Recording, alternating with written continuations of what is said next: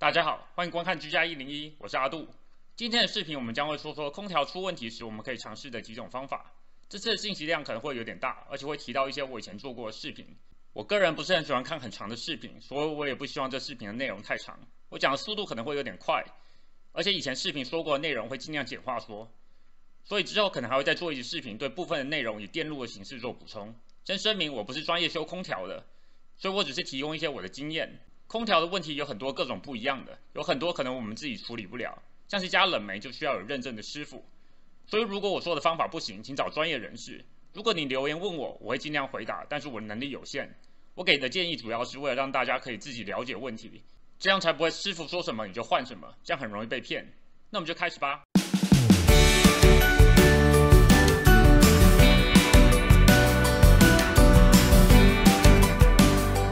首先，我们要了解空调的构造。空调主要分成两种，一种是一体机，通常架在屋顶上，然后是分离系统的，它会有一个空调机在地下室或是阁楼，然后会有一个冷凝器在屋外。工作原理都是一样的。空调机负责利用压缩和蒸发冷媒的原理吸收热量，然后转换的热量在冷凝器用风扇排出。如果是一体机，那就只是空调机和冷凝器都在同一台机器里面，而不是两台机器。由于冷凝器必须在屋外排出热气，所以一体机只会在屋外。我家是分离系统，所以我将以分离系统来讲解。首先，我们要尝试的第一种方法就是检查电闸。电闸跳电的话，空调没电，所以空调是完全不会工作的。如果电闸没跳电，你可以顺便把电关了，因为之后的步骤需要断电，或是你也可以只关空调机或冷凝器旁边的电源。但是最好在工作前用试电笔测一下。第二种方法就是换电容。我之前做过一次视频，说过空调有将近五成的问题都是电容老化造成的。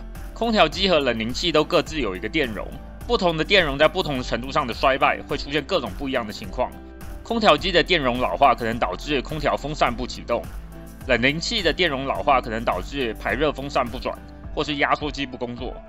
所以有可能制冷但不吹风，导致蒸发线圈结冰，或是吹风但是没有制冷或排热。这些情况，要么空调不转，要么吹出来是常温的风。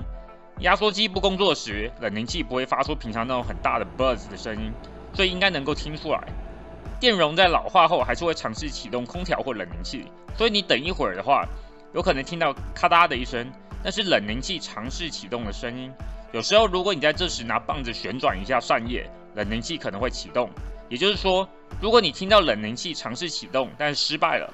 然后你再拿棒子旋转扇叶时，空调启动了，那代表肯定是冷凝器电容老化了。如果要更换电容，要记得电容会储存电量，所以你在断电后，各种部件都可能还有电。如果没有自信，请不要胡乱尝试。更换电容以及测量电容的方法，各位可以观看我以前做的视频。空调吹出的风不冷，也有可能是需要补充冷媒，这需要有认证的师傅来做，所以我就不说了。由于电容能影响的情况有很多，而且也是将近五成的问题所在，所以之后的几种方法都是建立在已经尝试更换过电容的前提下说的。第三种方法是看保险丝，保险丝烧断的情况，空调当然是完全不会动的。空调的保险丝有两种，一种是高电压的，在电闸断电的里面，有时拔下来就可以看到，有时候要打开里面才会看到。低电压的则是在电路板上有个小的，或是有时候会连接在电线上。我们回到阁楼的空调机，空调机打开后，电路板或者在旁边有可能会有保险丝。我的是在电路板上，下面这个咖啡色的就是保险丝。我们可以看看它是不是烧断了。不知道的话，把它拆下来，用三用电表的风鸣档测一下。我这边测试的是微波炉的保险丝，不过测法都是一样的。如果是好的，风鸣档会响。不过保险丝如果烧断，通常有可能在某个地方会有短路，所以并不是很好的解决方法。换了之后，最好看看其他地方电线有没有互相接触到，或是也有可能电路板本身出了问题。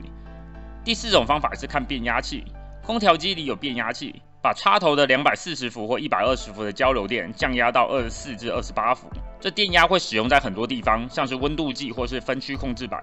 所以如果你在温度计测 R 到 C 之间没有二十四至二十八伏电压的话，那变压器就有可能出问题了。第五种方法是看中继开关。空调机中还有个中继开关，我这个空调有两个中继开关，它们都在电路板上面。但是通常的情况，它们会是一个额外的部件。中继开关是一种当一边电路通路时，另一边的电路也会变成通路的部件，用在我们把低电压通路时，高电压也会自动通路。也就是说，当温度计的二十四伏 R 到 G 通路时，中继开关将自动通入一百二十伏，来启动空调风扇。所以出问题时，有可能压缩机制冷，但是风扇不把冷风吹出来，所以冷气就不会冷。这种情况因为压缩机有在工作，所以没有被吹出来的冷气会把蒸发器的线圈冻住。所以如果你发现温度计 R 到 G 通路时，空调风扇没转，然后蒸发器线圈有结冻的现象，那多半就是中继开关或是空调风扇出了问题。第六种方法是看连接开关。我们再回到外面的冷凝器，冷凝器除了电容以外，里面还有一个连接开关。你把它打开来看，里面有一个按钮，按下去会启动冷凝器。这开关是由温度计的 R 跟 Y 接触启动的。这个开关用久了会有点烧焦，可能会开始出现接触不良，然后就会出现冷凝器不散热，而导致空调不冷的问题。这些部件更换很简单，它只有后面几个螺钉固定住，下下来把旁边的序号记下来，买一个一样的，然后跟原来用一样的接法把它接回去就好了。在更换部件和测试空调时，请注意两点：第一是空调有时候是有一些额外的保护开关的。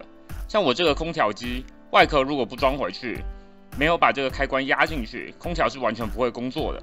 还有就是空调或温度计是会有延时的，像是空调现在是启动的，你有时候突然关它，它不会关起来；或是有时候你想开空调却没有办法马上打开，这设计是故意的，因为空调启动和关闭都需要一些时间。